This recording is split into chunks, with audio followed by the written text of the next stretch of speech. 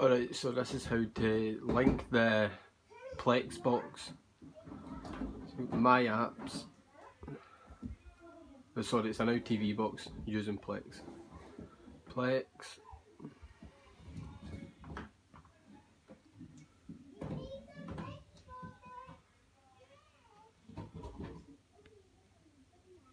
So the very bottom there, preferences. Remote control.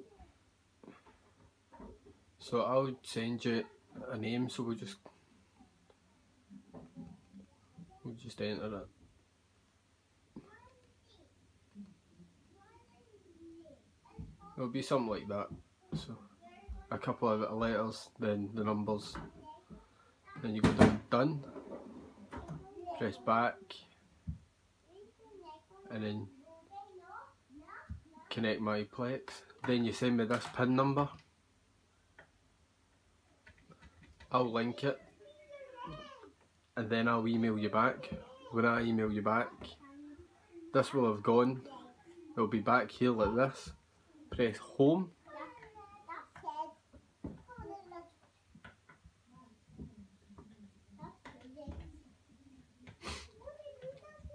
Then go back in